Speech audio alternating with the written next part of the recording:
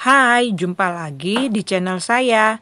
Kali ini saya mau bikin roti pisang keju yang pastinya enak, mudah, dan gampang bikinnya.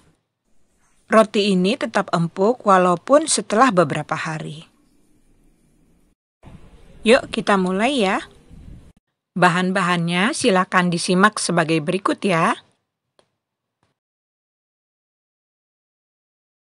Seperti biasa, dalam suatu wadah kita masukkan tepung terigu protein tinggi, saya campur dengan tepung protein sedang ya. Kemudian saya tambahkan gula halus, susu bubuk, ragi, ya. Aduk-aduk sebentar ya kemudian tambahkan satu telur utuh dan satu kuning telur ya. Aduk. Tambahkan susu cair. Boleh juga menggunakan air biasa ya. Aduk secara perlahan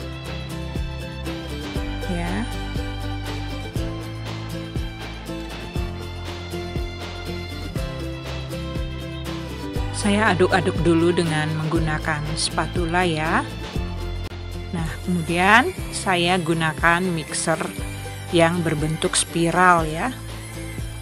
Teman-teman juga bisa langsung menggunakan tangan juga boleh ya. Kemudian tambahkan garam dan margarin ya. Nah ini saya mixer lagi ya. Sampai tercampur secara merata ya. Kira-kira saya mixer sekitar 10 menit. Nah adonannya sudah semakin halus ya. Nah ini kemudian saya istirahatkan. Ini sebenarnya adonannya nggak sampai window pan ya. Nggak perlu sampai elastis banget ya cukup seperti ini. Nah, untuk isiannya saya pakai pisang raja yang kematangannya pas ya, tidak terlalu lembut banget. Sebelumnya saya akan panggang di atas uh, teflon seperti ini dengan menggunakan sedikit margarin ya. Sedikit kecoklatan bagian sisi uh, kedua sisinya itu sudah cukup ya kemudian ini. Nah seperti ini coklatnya cukup ya. Jadi nggak perlu sampai uh, coklat semua karena ini juga akan kita panggang lagi di dalam adonan roti di dalam oven. Jadi seperti ini juga cukup ya. Untuk bahan isian saya tambahkan juga keju mozzarella ya.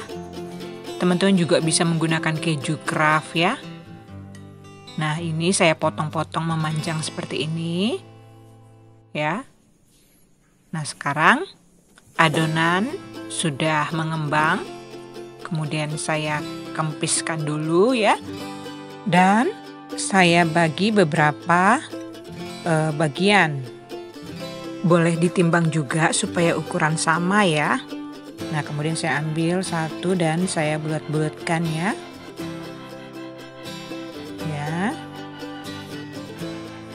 Seperti ini saya bulatkan dulu ya. Sekarang kita ambil satu bagian adonan kita pipihkan ya. Ketebalannya ini sesuai dengan selera masing-masing. Mau tipis atau lebih tebal juga boleh ya. Dan setengah bagian saya potong-potong seperti ini bisa menggunakan pisau juga ya ambil satu buah pisang dan satu potong keju ya. Dan kemudian saya gulung seperti ini.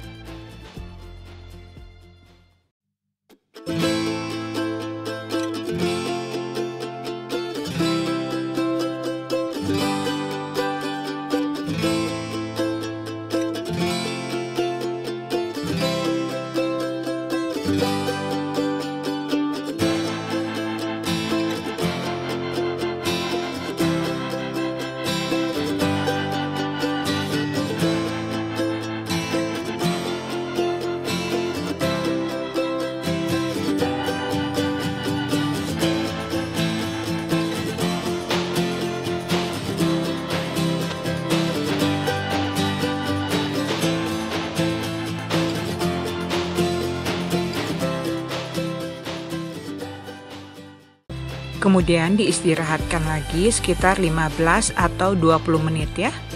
Nah, ini dia. Kemudian supaya menarik saya oles permukaannya dengan kuning telur. Boleh juga ditambahkan SKM atau susu cair dan ditaburi dengan biji wijen ataupun keju ya, terserah teman-teman semua. Nah, ini dia setelah matang kecoklatan ya. Saya oles lagi dengan margarin atau butter supaya mengkilap ya. Yuk, sekarang kita coba dulu ya. Saya mau potong, saya gunakan pisau. Wah, lembut. Kejunya meleleh karena saya menggunakan keju mozzarella. Nah, ini enak banget. Teman-teman boleh coba ya. Dengan mengganti keju mozzarella dengan yang lain juga boleh ya. Nah ini keesokan harinya tetap empuk, enak, dan lebih manis. Demikianlah video saya kali ini, roti pisang keju. Terima kasih sudah menonton, sampai jumpa di video selanjutnya. Bye!